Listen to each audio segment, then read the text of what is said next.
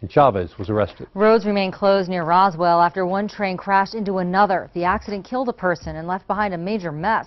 Sky 7 flew over the wreckage this morning just south of the city near Dexter. Action 7 News reporter Laura Terrain explains what investigators know so far and the clues they hope to find. From Sky 7's viewpoint, the aftermath of Tuesday morning's train crash in Roswell. State police say Jesse Coburn of Texico, New Mexico was killed. Another person was airlifted to the hospital and is now in stable condition. Both were aboard the locomotive painted orange. Pretty bad scene. State police say that train was going southbound when it hit the other train, which was sitting still on the same track. Investigators believe the two victims saw the collision coming and tried to save themselves. It appears that they actually jumped from the train uh, prior to impact.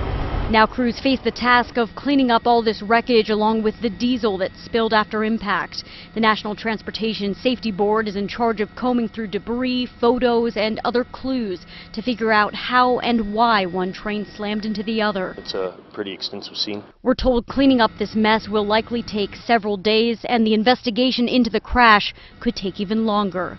Laura Turin, KOAT Action 7 News. Santa Fe deputies